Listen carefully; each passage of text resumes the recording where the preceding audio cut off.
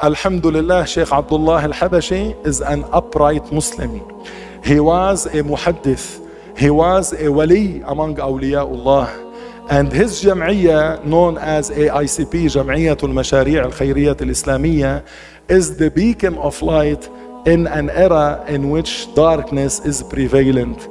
And as Sheikh Hussam said, أيها المشاريعي ارفع رأسك شيخك إمام Sheikh Hussam, the leader of our association. May Allah Ta'ala give him victory and more success said, O you, the one who is in AICP, irfa' ra'sak, stand tall and put your face high.